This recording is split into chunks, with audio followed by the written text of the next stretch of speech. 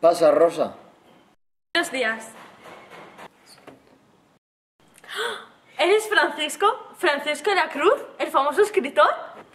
Un placer conocerla, señorita Rosa. Soy una gran fan suya. Me he leído todos sus libros. Es un placer trabajar con usted.